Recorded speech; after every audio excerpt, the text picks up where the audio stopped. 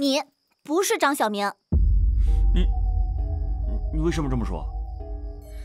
张小明，一个小小的家丁，不可能有这么好的文采，也不可能智斗山匪，更不可能断案如神。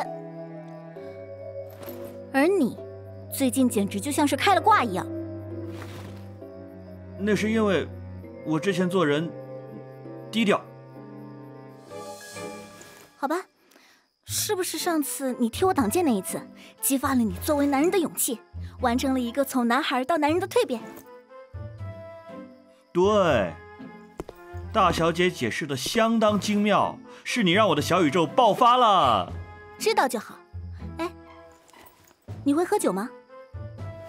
一点点。走。陪我喝酒去，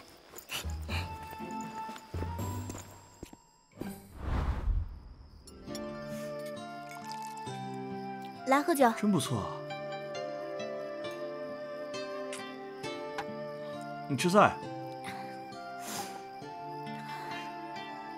你有心事啊？你们是不是都觉得，像我出生在这样一个家庭里，一定过得很幸福啊？嗯，没这么觉得。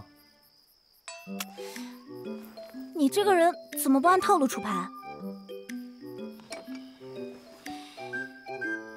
那我重新说啊，像你这样的官家小姐，堂堂的千金，怎么会不幸福呢？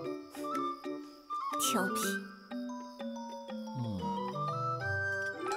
我很小的时候呢，爹爹就一直公务繁忙在外。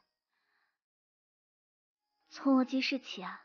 就是季叔叔带着我到处去玩耍，那个时候啊，我还经常骑在他的脖子上玩。他还带我去买糖葫芦，陪着我跟其他小朋友一起玩捉迷藏。在我心里啊，他就和家人一样重要。你你也不用太担心了，秦老爷很英明的，如果季师爷不是坏人。一定会真相大白的。嗯，我也相信。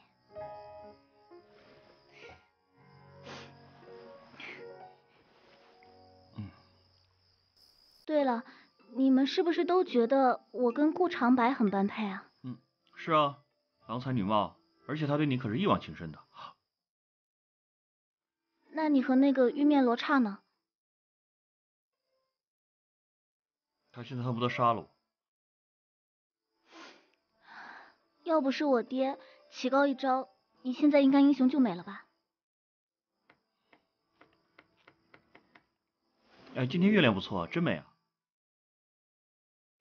你别打岔啊，是我美还是玉面罗刹美啊？想听真话？我想听让我开心的话。我是个渣男，我觉得你们都很美。果然是渣男。你快吃吧，菜凉了。哎，这个。